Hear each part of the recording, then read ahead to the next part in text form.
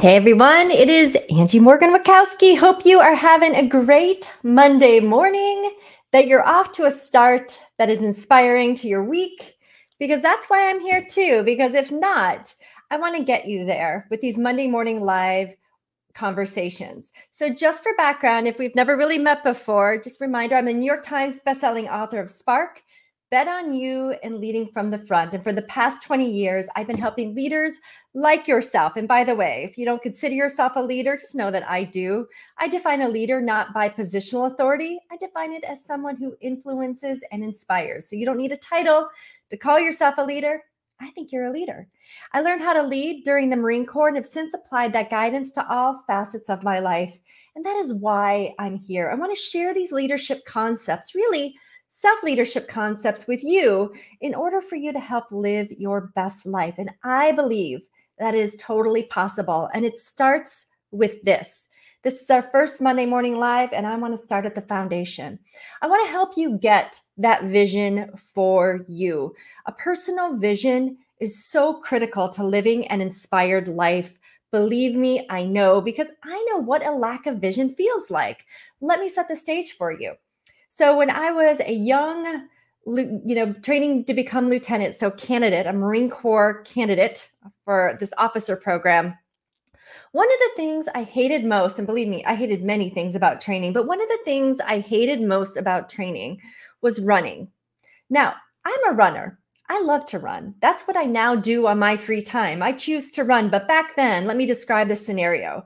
We would wake up super early and we'd get outside in the dark and we'd get into formation. And our instructors would say, right face, forward march, double time, and we would head off into the woods. Now, the thing that sucked the most was that we were never really told how long we were going to be there, how far we, far we were going to run, what our destination was. But there was one thing I can always count on. About a, you know, 20, 30 minutes into the run, I would start to have this mental thought loop that was negative. It would start with, ugh, this is awful. How long are we going to be out here? My knees hurt. I'm starting to smell. It was it was awful. And then we'd get done. Now, mind you, in the Marine Corps, this was designed on purpose. They were teaching us that we were supposed to endure in areas of uncertainty. And I want to take this to the private sector. Again, we were training for combat back then, but now in the real world, that lack of vision, that lack of not knowing our destination, that's not training for combat. For far too many of us, we call that business as usual. And I want to change that. I once heard, which I do believe is very true, People who have a vision don't get burnt out, they get tired.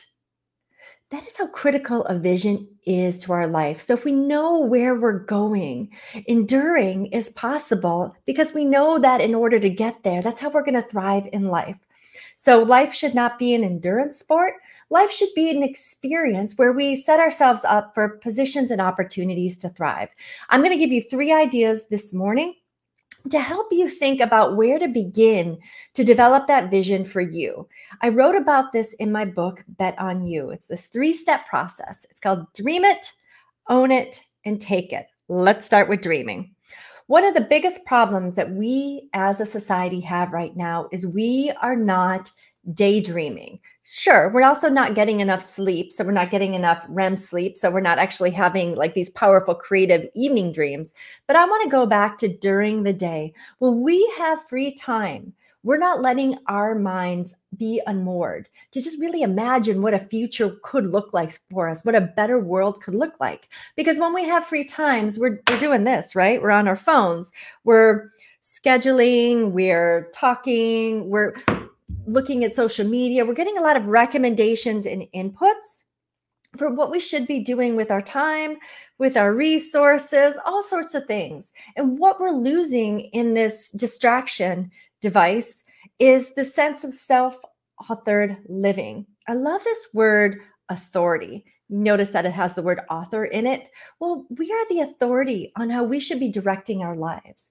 So, in order to dream, dreams have to come from us. Sure, we can take recommendations and input from the outside world, but start with you because your dreams are powerful indicators for what your future holds. Your dreams tell you what your vision for you is. It shares with you what's possible and what's probable on this amazing journey called life. So give yourself permission to dream and what this looks like.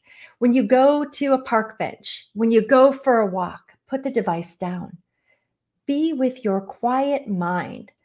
Let that just silence even though it might be a little different and uncomfortable for you, let it be filled just with ideas of what could be better for you. And don't judge what comes into your mind, just pay attention to it. Spend some time journaling and writing too. That is a wonderful clarifying process. This next thing, think about your book of life.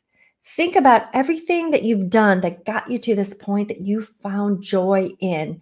I bet if you were to read your book of life and look at all the highlights, what you might uncover is a, is a pattern, is a theme. Like, I really enjoy to do X, Y, and Z in life and go with it because I know your two year old self knew exactly what they wanted to do in life, who they wanted to be. They certainly weren't exposed to the range of op- opportunities and possibilities, but they had a sense of self authority. They had a sense of self direction. So honor that younger version of yourself and really trust that what brought you joy in your past probably is going to bring you joy in your future and help paint that better picture of what is possible for you. And recognize you can't just do this on an hour break on a Thursday. This is a process. Give yourself time and space. So dream it. And the next thing you must do is what you are starting to discover about you. Really understand that you have to own your dreams. When we own things, we take care of them very differently, right? Than when we rent things.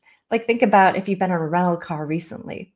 I travel a lot and I hate to admit this out loud, but in rental cars, sometimes I'll leave my Panera bag in the car. Sometimes I'll leave my Starbucks coffee in the carrier there when I turn it in, somebody else's problems. I, I know I probably shouldn't do that. And I'm just telling you here that that might happen sometimes, or even in a hotel room. When I rent a hotel room, I might leave a damp towel on the floor, leave it in the tub. I don't do that at my house. I own my house and we own things.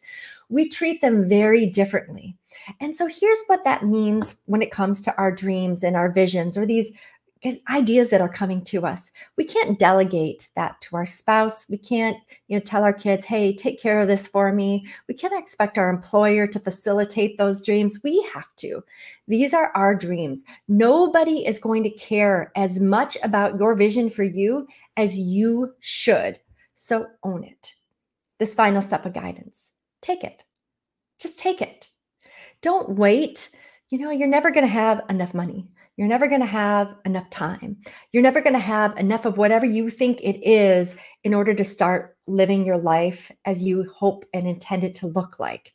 Now is that time. Today, every single day, we can take small baby step opportunities in order to fulfill our personal vision for ourselves. I love this topic so much because I firmly believe that we can design our lives. We don't have to quit our jobs to change our lives. It often just starts with changing our mindset. It's getting more in touch with our vision for ourselves. And once we get that, I mean, everything changes. We have up to 60,000 thoughts per day. 85% are repetitive, 90% are negative. Often our world is consumed and our mind is consumed of negative, repetitive thoughts. So if we want to change anything, change our thoughts, align our subconscious thinking to our conscious thinking, to our vision for ourselves, everything changes. And I want that for you. We get to choose our own adventure in life. And starting with our thoughts that become beliefs, that become behaviors, we get to choose our thoughts. So for this week ahead, please be intentional. And you are not alone. I am here with you. Please go to angieconnect.com. You're going to find a host of resources that are going to be available to you. And I also have an e course called Now It's Time for You. And this e course is all about allowing you to take a process on a journey to get you to a position where you get to transform your career. I just want to thank you, everybody, for your time and attention this Monday morning. Please follow me on LinkedIn, Instagram, go to angieconnect.com, get access to the resources I have for you because I believe in you and I want you to be living the life of your dreams. Have a great morning, guys. Have a great week.